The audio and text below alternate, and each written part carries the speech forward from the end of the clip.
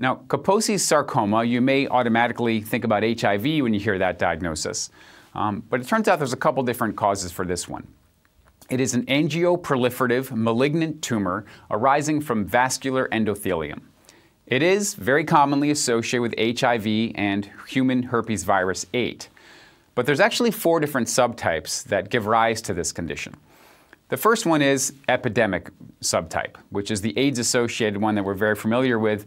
But it turns out there's some other causes as well. There's iatrogenic, and this is a variety that we still sometimes see today in patients who are on immunosuppressive medications, and perhaps transplant patients. There's an endemic variety, which is endemic to indigenous uh, Africans, and then a classic version, which interestingly enough is one of the least common varieties, but it was referred to as classic Kaposi's sarcoma before it became associated with the HIV uh, AIDS epidemic, and it's seen in uh, older white men.